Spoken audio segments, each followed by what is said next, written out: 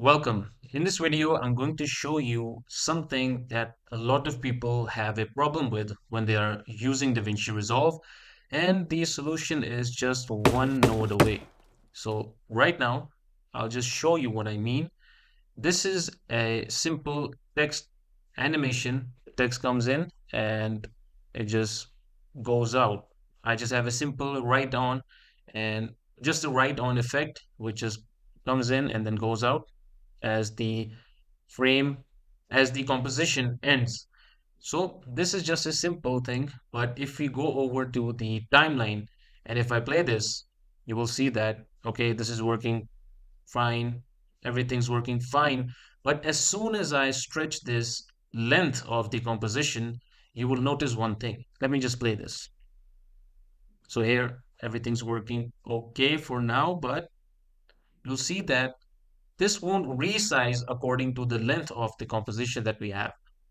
But there is a way that you can achieve this restretch or keyframe restretch by using a simple node. And that is if you go back to the Fusion composition and just press Control space and then search for keyframe stretcher. And this will allow you to resize your compositions without losing those keyframes along the way.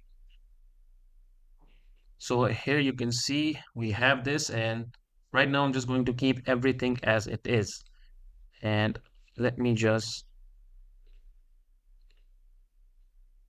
uh, so this was the original size of the composition and as you can see it's working fine but now when I stretch this and now let's play this everything's working fine.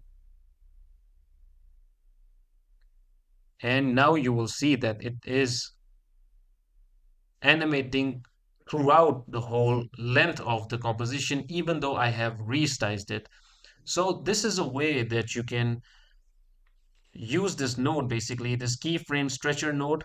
You can use this in order to resize your fusion compositions and this will work for those people who want to create templates basically for fusion compositions or macro files.